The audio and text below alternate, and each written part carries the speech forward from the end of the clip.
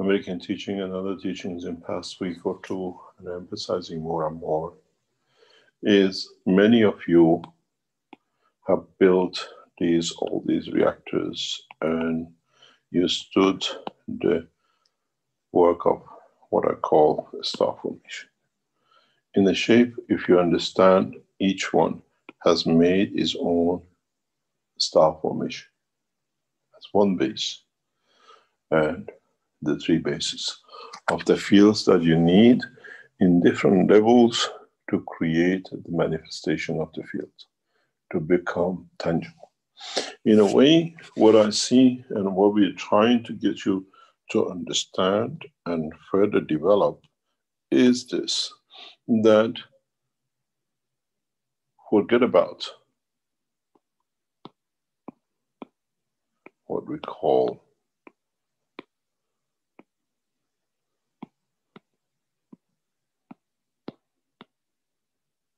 the physical system and concentrate on the field.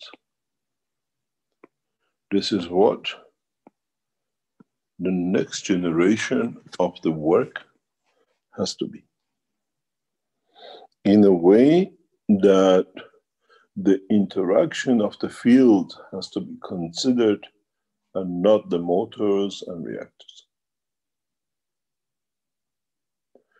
This is where the next step in understanding the work of the universal physics come into operation. Where we don't look at the tangibility, we look at the field forces effect. We don't look that we have GANSes, We create the condition that the fields of the universe become interactive in a condition and a position that we want. In a way, as part of the new teaching, as you saw in the ball rotating around an imaginary center to show its position, that imaginary center has to become the soul of the man. The soul of the physicality deciding if it wants to put its field of strength to manifest for us to see the reactors. Not by building reactors to show the manifestation of a system. The knowledge of the knowledge seekers has to become part of understanding the creation of the field, absorption of the field, separation of the field, division of the fields through the use of the interaction of the field of the soul of the man and the soul of the physicality.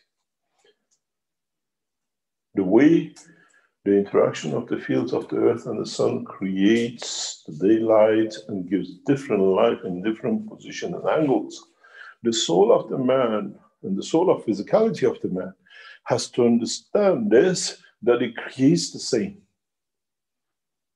in interaction of different field strength in different angles it creates different matter condition of the manifestation if they wish the way that the field of the sun and the earth in a given angle creates the trees and in another angle creates the shrubs, and in another angle, in another part of the world, creates another tree and a different shrub. So now we understand that the knowledge has to extend into the dimension of fields that through it, if we wish, we can create the matter state or manifestation state without the matter.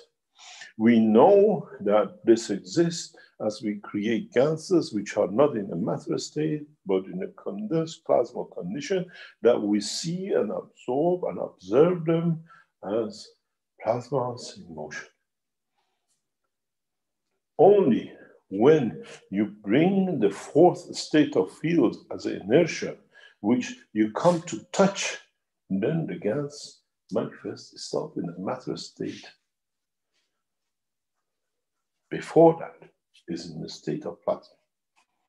And it is the way that many of you, many of the knowledge seekers have to start working without existence of the matters.